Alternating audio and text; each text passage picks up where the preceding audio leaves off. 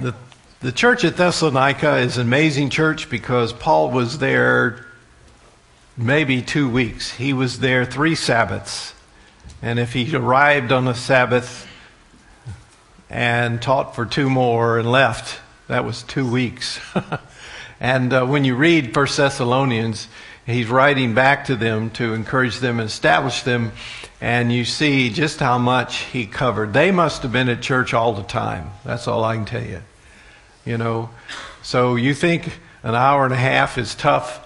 Well, you, should have stuck with the Apostle Paul for a little while. I mean, can you imagine getting a Bible college uh, lesson or degree in two weeks, maybe three? Um, that's some that's some study there. Okay, and uh, but this church uh, is an example uh, of what um, a church should be in many, many ways.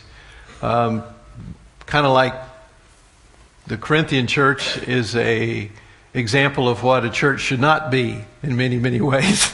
the uh, both both examples, I guess, are good for us, aren't they? And uh, so let's let's look at a couple of verses from 1 Thessalonians chapter one, and we'll talk about them. So this should be a short lesson. It's only about one or two verses. So, all right. Verse 2 says, We give thanks to God always for you all, making mention of you in our prayers. And that's pretty typical with the Apostle Paul. And uh, we say, well, uh, it, prayer is one of those things that we embrace by faith. You know, God does, why does God need me to pray about anything? Why can't God just do what He wants to? It's His will to be done. Well, whether you or I understand it or not, God says pray without ceasing. And, uh, and it's a part of the spiritual battle that we face. And, and I believe that some way that we can't quite understand, uh, God's will is accomplished in this world through prayer in ways that it would not be accomplished otherwise. And I have to take that on faith. And the Apostle Paul was a man who prayed, and he says that he was example of the believer of this age. And so if he's praying all the time, I think we need to too. And one of the things that we should be doing in our prayers, and it's really good for us, is giving of thanks. Um, I know this is not November, but you need to count your blessings and do that every day, every often. And uh, because it's important, it keeps us straight.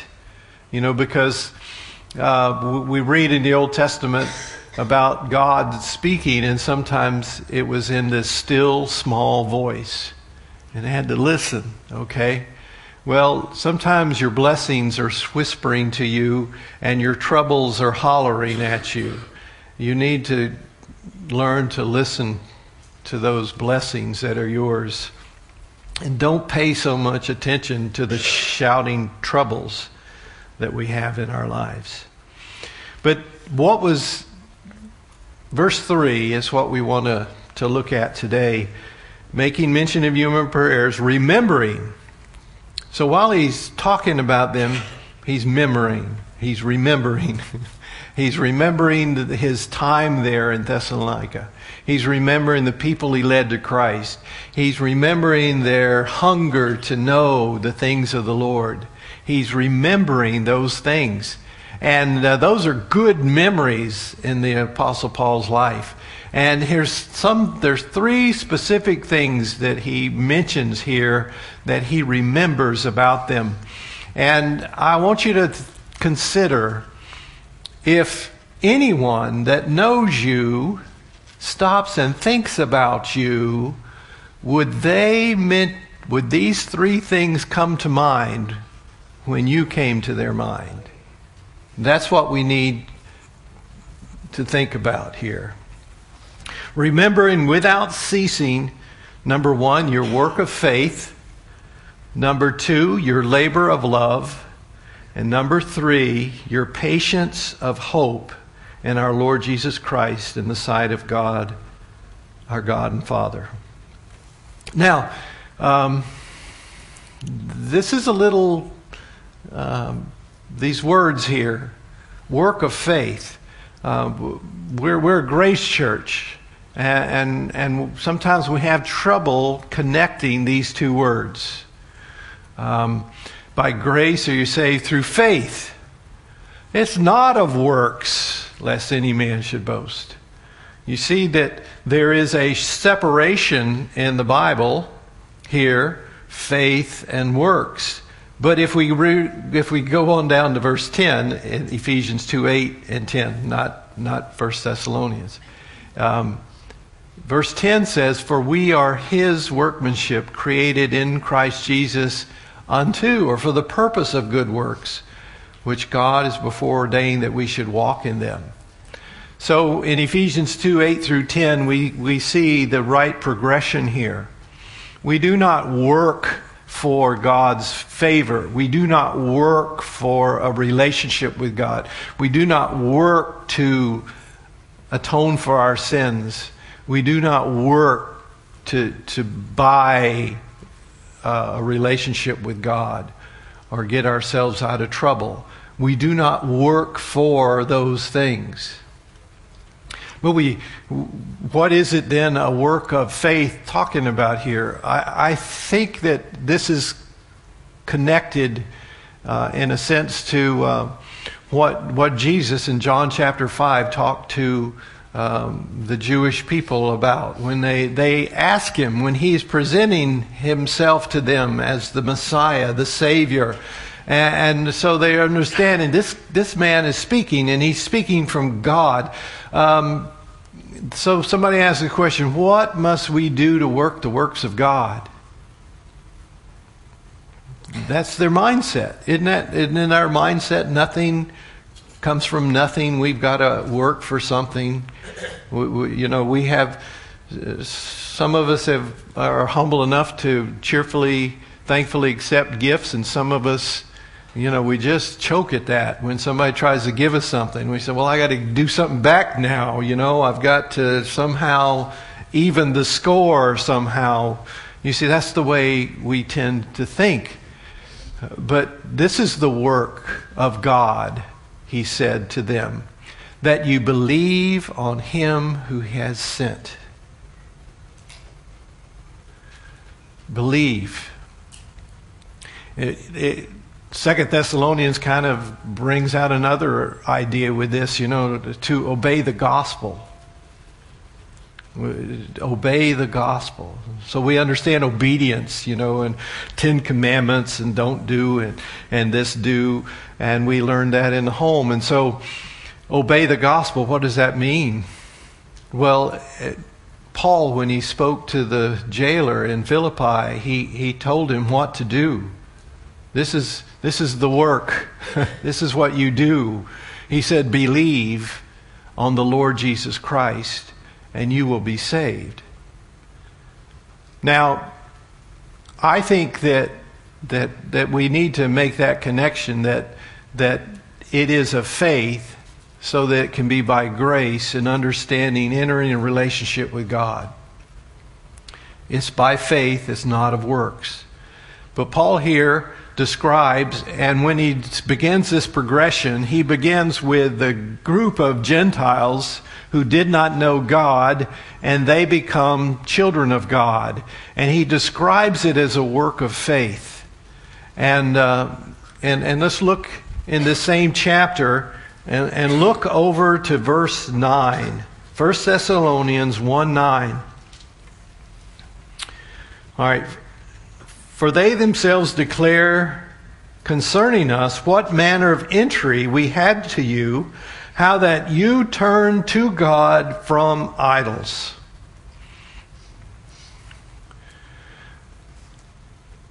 The work of faith here that he is mentioning here is that you turn to God from your idols. That's the work of faith. But, but, it, but faith comes by hearing and hearing by the word of God. So what did Paul, what did he have to declare unto them? He had to declare unto them the true and the living God, who is the creator of heaven and earth, and has showed himself to us, revealed himself to us, the image of the invisible God, his Son, the Lord Jesus Christ, the one who died and rose again, the one who's coming again. This, this is what he taught them from the scriptures. Now, we know that the Greek culture, they worship many gods. Uh, they wouldn't have been much different than the, the, the Athenians when Paul went down to Athens and he found a, a city, a people that were wholly given to idolatry. I mean, they had idols and temples everywhere in the city. And, and that's where he beheld this one idol that, that got him, gave him some sermon material when he went up on, on Mars Hill there. And it was an altar to the unknown God. And so he says, Well, I'm going to declare the God you really don't know to you. And, and that's, that's the problem with the world. The Thessalonians, they knew God of their fathers, of their culture. They knew all these gods that had been taught to them. But when Paul came, he says, These are not gods at all. The true God is the Creator, and He's not worshiped with hands as though he needed anything. But he's the one who gives us life. And so he, they believed the preaching of Paul about God and the preaching of the gospel. And, and see, there is no, Christianity does not allow for syncretism, where we take what we did believe Let's say you were never worshiping an idol. You never worshiped a false God. You were never raised in another religion. But somehow you had it in your mind that for you to go to heaven, you must, you must go to church. You, you must help other people and live a good life. You, you need to try to keep the Ten Commandments and, and you, you need to you could just add to the list on. Maybe you need to do some ceremonies, whether it's communion or the Lord's Supper or baptism or whatever it may be. You say, I have done those things, and so God will be satisfied with me. That, that is your idol in the sense that that is what you're trusting in. That is your God to save you. And the gospel says those things can't save you.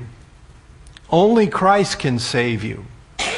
And so the work of faith is to let go, you know, and trust God. Now, that's not easy for us sometimes, is it? I mean, even with the witness of the Holy Spirit in our lives, sometimes that's difficult. You know, I, I hear people talk about easy believism, and, and real believism is not easy. It's, it's not easy for us. And the older we get, the harder it gets, doesn't it? When somebody says, trust me, what's the first thing you do? I don't trust you. You just said trust you. I no, I don't trust you any longer. You know, that's what life does to us, right? And so this man, Paul, comes to this city and they've never heard this before in their life, and he says, I want you to believe what I say. And somehow there's this unseen witness of the Holy Spirit in the hearts of these people, and they respond and they believe. It was a work of faith. Can you imagine? Um, have you ever done this? My dad did this to me. I probably, I know I've did this. I have done this to my children. Um, the dad at some point picked me up when I was a little boy, little bitty boy, and he put me on top of the refrigerator. And he says, jump. How many has had something like that happen to you? Okay, all right. All right. They do, uh, they, they do seminars and stuff or trust in a group, don't they? They, they have you stand up and, and fall back and your team will catch you, you know? You go, right, right. That's, that's faith. And when we're a little child, we got to let go of the refrigerator and believe that daddy's going to catch us. and you've been, and people in this world, they've been holding on to good works, and they've been holding on to this religion and this idol and this God and, and these things. They've been holding on to them. And the gospel says, let go. It says, let go. Okay, that's faith. That's what faith is. And that's a work of faith. That they turn to God from idols. Are you trusting in yourself or some other God, other God, some, something, other religion, some other way to be righteous before God than Jesus Christ alone? Well, then you need to let go. Just let go and trust Christ. He alone can save. When they trusted Him, well, then they, they what followed the work of faith was a labor of love. Now, this, this is important, and you, when you look over to uh, verse 9 again of chapter 1, you see that um, to serve the living and true God. You see, that's the labor of love. Love is a response. We love God. Why? Because He first loved us. It's God's the initiator in all of this. He's the one who sent His Son to be the Savior of the world. He's, he's the one that has sent his spirit into the world through his children to proclaim the good news. God is the one who wants us to be in his family. It's God who is the one reaching out. And when we respond in faith to the love of God, then we become the children of God, and then there should be some labor. Okay? You know, uh, love is a verb, it's active. It's not just words. And so, if we love him because he first loved us, then, then it shows. And, and the main thing God wants from you, he just wants you to yield to him. He says, I bought you, and uh, I want to use you in this world. And, and, and when we read the scriptures, we find out, well, I was created for his glory, for his pleasure. And, and, and I have been purchased out of the slave market of sin to glorify Him on this earth. And if I learn to love God, well, then it will be demonstrated in my life, serving Him. Now, there's all kinds of ways to serve Him, isn't it? But the, the, the problem about this is there's really no way of serving God without getting involved in the lives of other people. That's the drawback there, isn't it? Okay, if I could just go in a monastery and lock myself in and just sing to God and read the scriptures, that would be wonderful. But but that's not why God left you here. If God just wanted to have sweet fellowship with you, he would yank you right into heaven right now. And, and a lot of us are ready to go, aren't we? We're ready. Yank us. All right. But he says, no, this world needs Jesus. And so if you love me, well, he told his disciples, love one another, keep his commandments, all kinds of things, didn't he? But if we love, Paul demonstrated, he showed that love. It, it's, it, it's no longer me living, but Christ living in me. He is more important than I am. And that's the reality. It just needs something, it's something that love will produce in my life. Lord, you are more important than I am. And so we, we look at our checkbook and we look at our schedule, our calendar, our day timer, all those things, and we say, How, how much do I love God? And we look at there and say, Well, I love God a little bit. Because God gets a little bit of my time, He gets a little bit of my talents, He gets a little bit of my material blessings. Well, God wants, He's purchased you, He just wants you. And he knows when he's got you, everything else comes along with it, doesn't it? It's a package deal. But um, it's good for us. I mean, it's, we cannot, we can never, you know, it's like Jesus paid it all. All to him I owe. And I say, well, if, you know, if I work real hard and I get involved, eh, I, let's say, think of the, what if I worked in the nursery? Every Sunday, every Wednesday, every, uh, what if I worked in the nursery? That would surely get me even with God. That's about the toughest thing I can think of. No, I can never get that. And it's not what it's not about getting even with God. It's about God giving you ways, letting you. This is for your blessing, showing you, giving you opportunities to love Him. And that's the joy of it. That's the joy of it. You know, if you're in a relationship with somebody you love and they love you, you know that's a great thing. There can be no greater relationship, love relationship, than you and, and God. Your labor of love serving the living and true God. And then this is the this is the part that's been brought to home afresh for me yesterday. I mean, we were Corey's supposed to be home or back to the airport. The plane's supposed to land about six, and um, it was supposed to land at this hangar. We went to that hangar and they said, "No, that's the wrong hangar. It's that one." So the address was wrong. And then we find out more and more that time is wrong. Well, it's not going to be. It may be 8 and maybe 8.39, 9.30 the flight comes in from Texas, you know. And, uh, but it just added to the anticipation. And it was fun watching uh, Melissa. She was just, she said she hates to wait.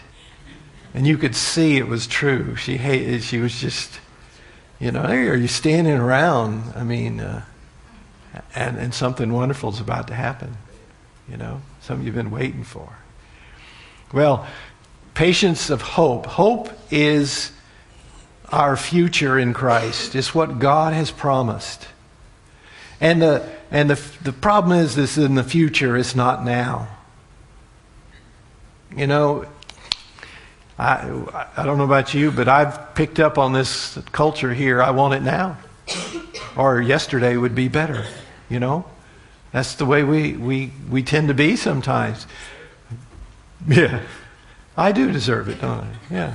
Okay, but but God says patience of hope. That's that's being finding the grace and the strength to wait. Not give up, not throw it away, but wait. I will wait upon the Lord. And and, and we will wait for him to come and fulfill his promises in our lives. Chapter 1, verse 10 says, To wait for his Son from heaven. That's the patience of hope. Lord, you, you said you were coming back. Where are you? Lord, I've given you this request. I need it now. And we have to wait. We have to wait. And Paul says, You know, I, when I remember you guys, I remember your patience of hope. The Thessalonians, like many of the first century churches, they were persecuted churches. It was hard to say, I'm a believer in Jesus Christ. Boom, boom, boom, boom. You know, or you're fired. Get out of here. Maybe by the grace of God and the mercy of God, we'll before he comes back, we'll all get to see what that's like here in America. Maybe. But they demonstrated their confidence in God that they would wait. Jesus said he's coming, and there's nothing that can keep him from coming. The trumpet will sound, and the dead in Christ will rise, and we who are alive in Christ will be caught up to meet the Lord in the air. We will be changed in a moment, the twinkling of an eye. The mortal will put on immortality. This corruptible will put on incorruption. That's the promise of God. And God says, that's a blessed hope. That's a hope that brings joy. It's a hope that brings strength. It's a hope that keeps us going. You think of many people who would not need uh, some encouragement to keep going than, other than someone like the Apostle Paul who suffered, suffered, suffered. What are you going through? What are you struggling with? Jesus is coming back for you. And it will be worth it. It will be worth it. Whatever your struggles are, stay true to Him, stay close to Him, trust in Him, rejoice in that hope Jesus is coming again. Let's pray. Father, we